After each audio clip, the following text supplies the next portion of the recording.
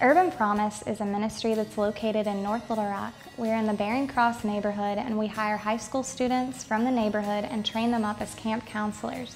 They serve in our programs for first through fifth graders or sixth through eighth graders by teaching them proper leadership skills and academic skills and also encouraging them in their faith. So during our summer camp we have four classes and one of those is an educational component called Zany Brainy. Zany Brainy is a class for the kids. We teach all of the core subjects like math, science, reading, and writing. Uh, I'm really passionate about gardening. I grew up on a farm, and so I decided to incorporate gardening as a part of our science and math. So in science, so far I've taught the parts of the plant and photosynthesis.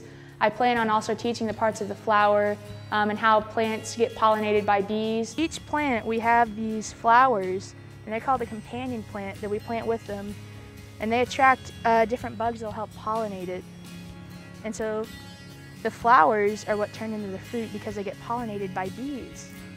Because of volunteers, because of people like Mary Beth and her family, we're able to give these kids a high quality education this summer. They probably have never heard of the process of pickling or learning that dill and garlic go inside a jar to make pickles. We're going to teach you guys how to make kosher dill pickles. So do you guys want to try one first? Yeah, all right, so everyone can get a pickle.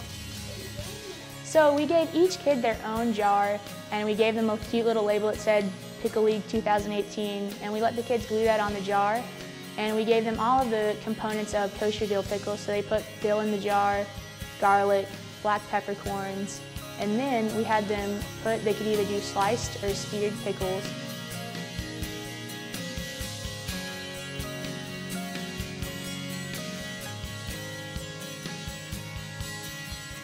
So it's just a good thing uh, because processed foods are so bad for you these days.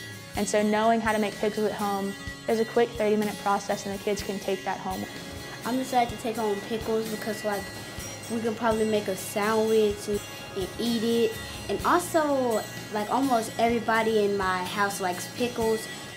So street leaders are high schoolers that we hire that live in the community um, so that they can be a leader here as well as on the street. Um, they really love the garden. A couple of the guys have really intently watered them. Uh, one day we hadn't watered them uh, in a few days and some of the cucumber plants were wilted over. And he said, these plants are dying, they're dehydrating, they're burning up. And so he took it upon himself to water them. I just had a little gallon pitcher that I was going and watering them with. And I gave it to him and the next thing you know, he comes out with a five gallon jug of water. Um, and then the next day, another one of them found a hose in the closet so they pulled it out and they had to have pliers to turn on the spigot. And so they brought out pliers and everything and they've been watering them since. I think it just surprised me because the kids remember so much information that I tell them. They'll look zoned out, but then taking them out to the garden today, they could tell me exactly where the stem was, where the leaves were, where the fruit was, and where the flowers were. Um, and they just are so excited. The first day when I taught, taught them about uh, growing things and what the garden meant, they all were quiet and they all were listening, they all were focused and they're so excited to see something grow up uh, and just be able to be a part of something bigger than themselves.